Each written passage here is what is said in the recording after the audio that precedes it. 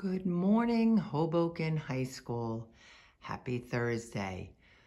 It's going to be no me today, but a little bit of this. I wanted you to get a little feel of Hoboken High.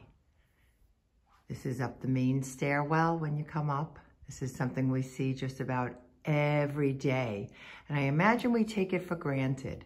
It's very dark in here. I don't know how to flip on the lights, but we're walking towards the main office here and the tables that are normally bustling with you little girls and boys are empty right outside the main office.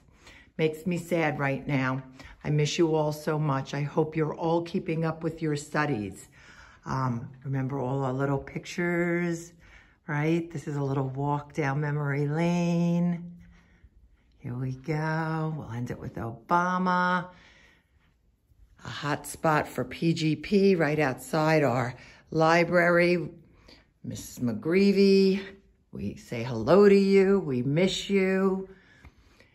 Down here, you know, we find our student center and our guidance and dean team.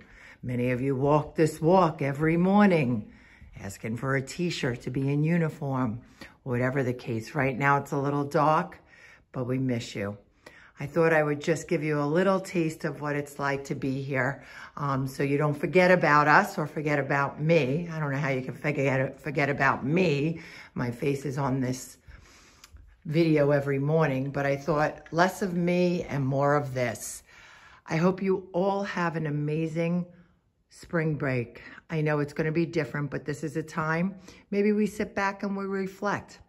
Reflect on things we could do better. Reflect on things we've done well.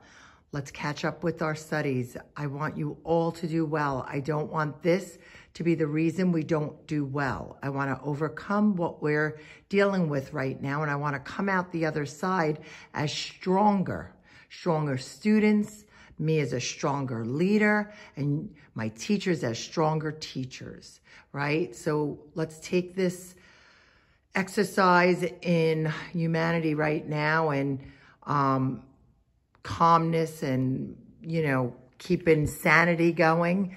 And let's make us better people because of this. I know I'm going to work on myself.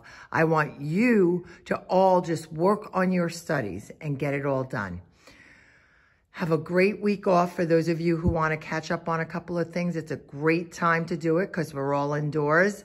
Um, for those who are all caught up, relax, read a good book, and um, I'll be back in touch on April 20th.